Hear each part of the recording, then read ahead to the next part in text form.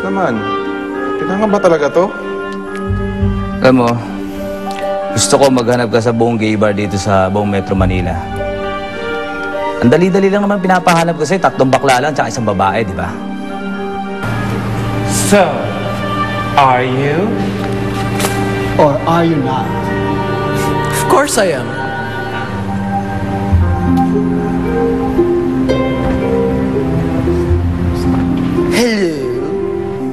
Hello?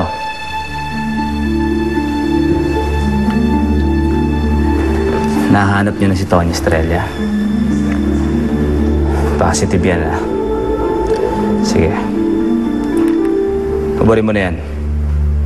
Tapos naman, so okay naman to kaysa nakaubad. Ano lang. Ang ibig ko sabihin, ubarin mo na yan dahil nakita na si Tonya. Hindi mo kailangan magsuot niyan.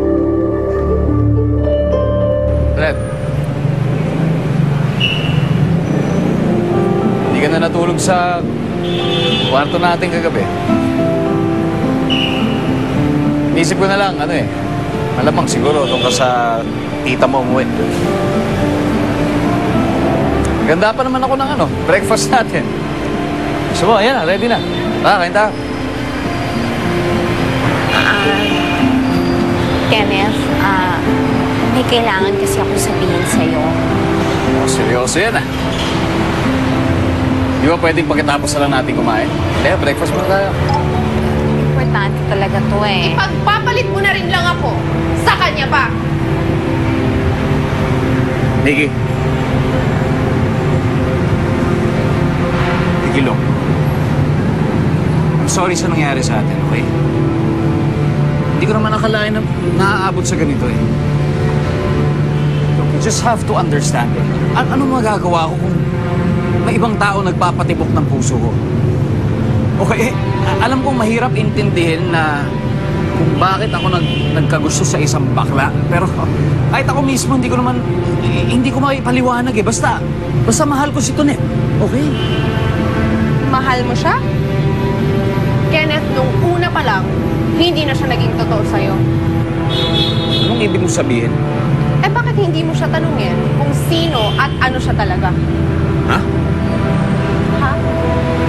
Sinungaling at manluloko yung baklang minamahal mo, Kenneth. Teka, sandali sila. Nikki, anong sinasabi mo? Ano bang sinasabi mo? Ha?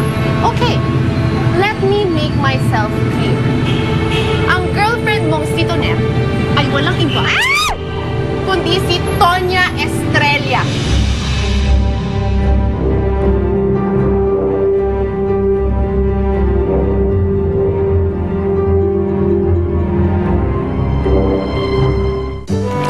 Kong ginusto sabihin sa inyo, kaya lang Kaya lang ano, natatakot ako eh. natatakot ka kaya, kaya patuloy mo ako niloko. Kaya hinayaan mo na lang na mahulog ang loob ko sa'yo. Kahit ano pang kasinungalingan ang ginawa niya, ang sinabi niya, alam kong tunay ang pagmamahal niya sa'yo. Ano yung pabagbag mo dyan? Obvious ba? Aalis na ako ng club. Stop your car! Ano ba nangyayari dito? We think vodka's missing. So you mean, may masama nangyari sa kanya? Oh my God! Anong balak mong gawin sa kanya? Buhay ni Lee ang kinuha niya. Kaya buhay din niya ang kapalit.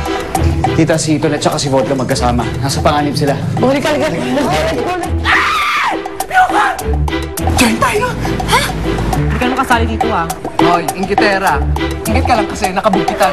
Ah, gano'n na. Halika dito. Ay, ay! Ay,